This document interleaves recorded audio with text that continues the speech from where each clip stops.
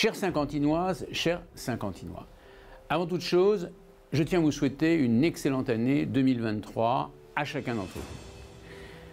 Chers amis, depuis deux ans, nous mettons tout en œuvre pour sortir d'une succession de crises sanitaires, économiques, sécuritaires ou énergétiques. Grâce à une mobilisation exceptionnelle, nous avons pu vacciner 400 000 personnes dans notre vaccinodrome. Cette opération a prouvé notre réactivité et notre capacité d'innovation et a permis de sauver des centaines de vies. Nous avons également protégé nos entreprises et nos emplois avec un plan de relance sans précédent. Après le Covid, nous faisons face à une crise énergétique d'une rare intensité.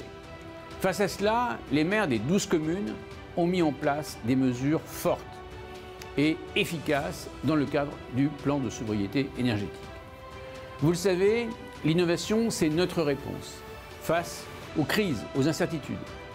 Notre mobilisation est permanente avec l'ensemble des élus de 50 ans et de nos partenaires, la région et le département.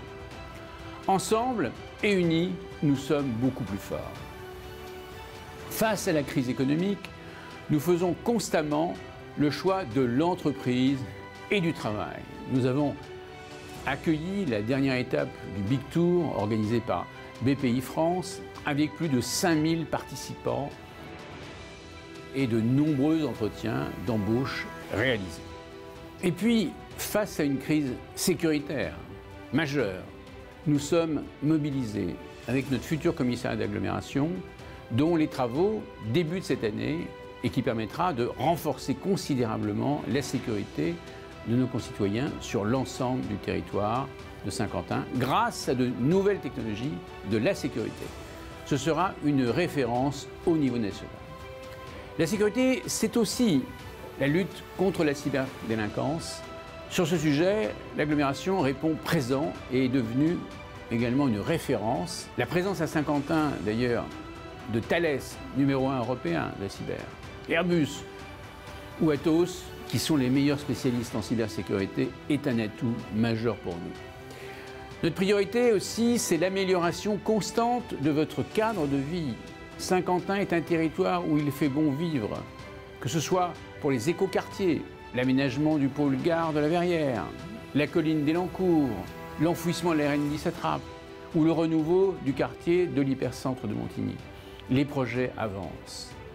Face à la crise climatique, nous avons aussi décidé d'agir de manière innovante pour la qualité de l'air.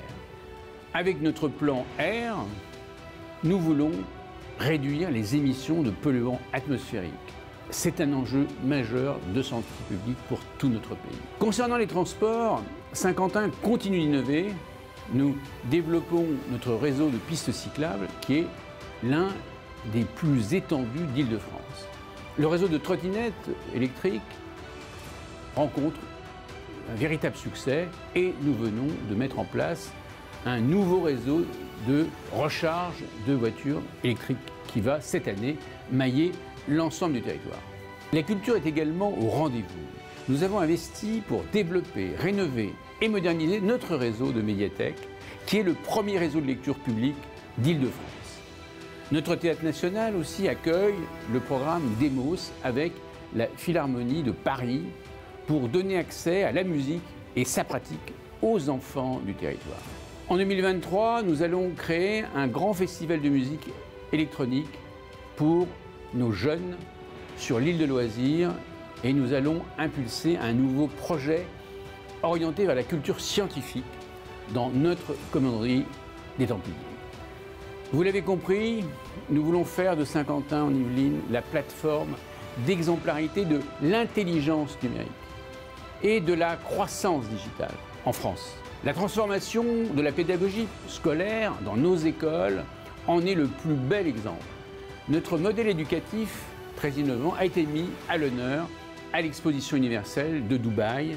Demain, grâce au numérique, nous allons démocratiser la réussite et la rendre beaucoup plus accessible à tous. Notre territoire forme les talents de demain. L'école supérieure des, agricultures est venu rejoindre d'ailleurs des écoles prestigieuses telles que l'Estaca, 3IS ou l'école de 1600.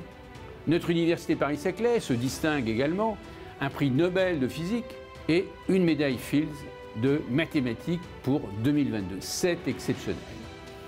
Ainsi, nous mettons en œuvre les conditions de la réussite de nos enfants, de l'école primaire jusqu'à l'université, face à la crise de l'éducation. La culture scientifique de notre territoire est primordiale. Enfin, parlons sport. Après les succès de la Ryder Cup, de l'Open de France ou encore des championnats du monde de cyclisme, Saint-Quentin accueillera l'été prochain le départ de la dernière étape de la plus belle course du monde, le Tour de France. Un an des JO, quel symbole. Le compte à rebours des prochains Jeux olympiques est lancé. Le monde entier aura les yeux rivés sur nous. Le sport, je vous le rappelle, incarne les plus belles valeurs qui font réussir l'homme le travail, le goût de l'effort, la rigueur, la discipline, le respect, le dépassement de soi, l'engagement. Vous le voyez, Saint-Quentin investit, mais nous continuons à nous désendetter et à maîtriser rigoureusement notre budget. Nous faisons plus que jamais le choix de l'investissement dans les secteurs les plus stratégiques pour l'avenir de notre pays, pour rendre notre territoire encore plus innovant et attractif. Chers Saint-Quentinois, merci de votre confiance. Vous êtes les ambassadeurs de notre territoire d'exemplarité nationale. Excellente année 2023 à chacun d'entre vous. Merci.